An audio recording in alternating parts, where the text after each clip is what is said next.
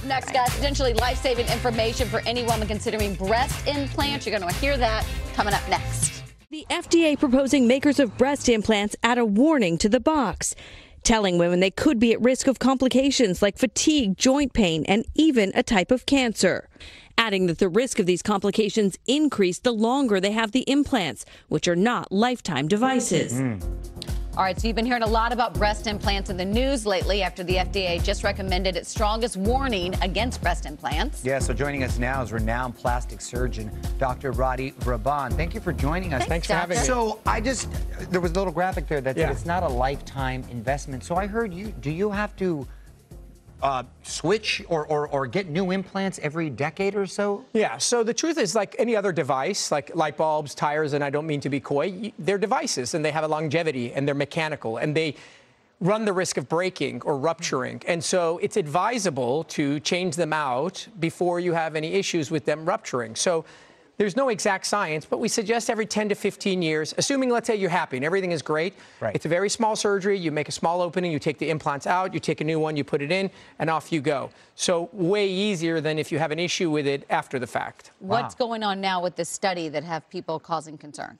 So listen, I think it's I, I think while it's really good that we're talking about it, I think one of the reasons why it's important that we have this conversation is there's a lot of patients that are alarmed. You know, you can imagine you're a woman, you have these breast implants, you're, you're, you're fine, and all of a sudden you're watching the news and you're like, FDA, cancer, this, that, and then you start panicking. We're getting a lot of phone calls. So we want to make sure that people are educated about what's going on regarding the breast implants and these warnings. Okay? So the first thing is there was a black box warning. And the black box warning basically means that the FDA is stating to some degree what we already knew, which is implants are not forever, and implants, like any other, like mesh, a valve, whatever, have issues.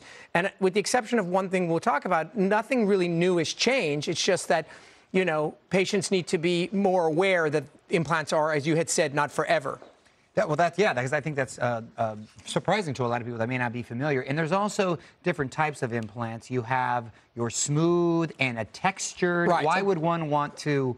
Um, have a smooth as opposed to a right. textured. So I think it's really important we talk about this. So what recently happened, which I think, what the question is, well, why all of a sudden all this change? What triggered this was the FDA and the implant manufacturers recently removed a particular implant off the market. That implant was textured. Textured referring to what? The outside of these implants, right? Mm-hmm. Both these implants are gel. This one is smooth. This one is textured like Velcro. And so the texturing, what it was designed for, was to allow this implant to stick and not move. Mm. And when you have an implant, say for example, in, in, this in this instance that's shaped, shaped meaning it looks like a teardrop, you don't right. want it rotating.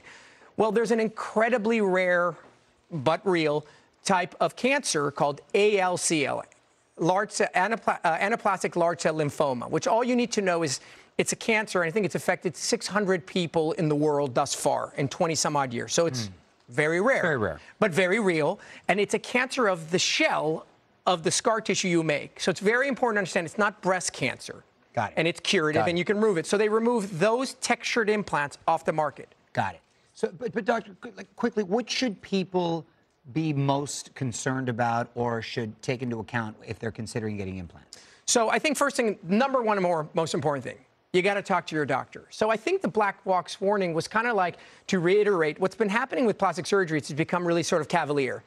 And so we need to slow it down and go back to the, to the, to the basics, which is you sit with your doctor and you and your doctor need to talk. I don't think anything with the exception of this ALCL has changed. Hmm. I just think that what happened is that you go and you talk to your doctor and you just leave all of a sudden thinking, well, this is great. I'm going to be wonderful.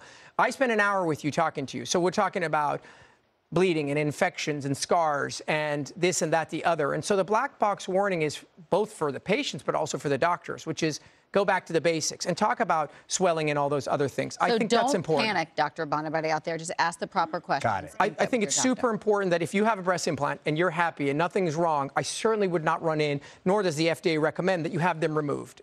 Thank, Thank you, you, doctor. Thank we'll you. be right back after these messages from your local station.